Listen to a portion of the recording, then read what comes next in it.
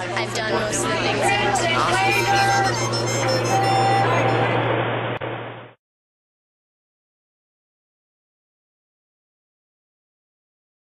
Well, I think athletics um, definitely brings a whole new dynamic to the campus. It plays, it um, gets people really mo- motivated for just like up school spirit, and it gets gives people something to be excited for. Um, to follow basketball, football, soccer, pretty much every single sport in the Pac-10. If you see the events that are going on Saturdays before games, everyone where everybody can just bond together and kind of help to have more school spirit.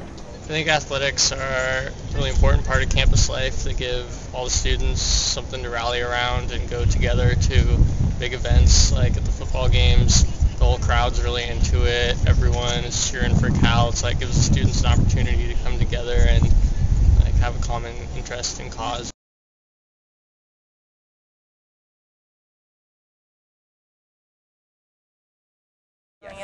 Well, I'm not really sure if student fees correlate with how much athletics spends.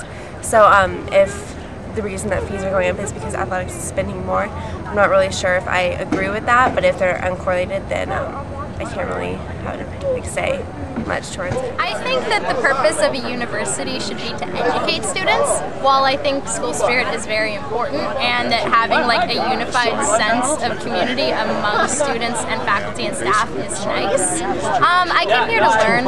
I don't want to pay my tuition and fees so that the football team can go out and not do so great every single weekend. Um, no, I, I want a degree, not just to be able to say, oh, I went to Cal. The football team was good. The end. I mean, if if sports are helping to bring money to the campus, that's one thing. But if they're spending money on these extracurricular sports versus academics, and the sports aren't contributing back to our campus, I don't think that's right.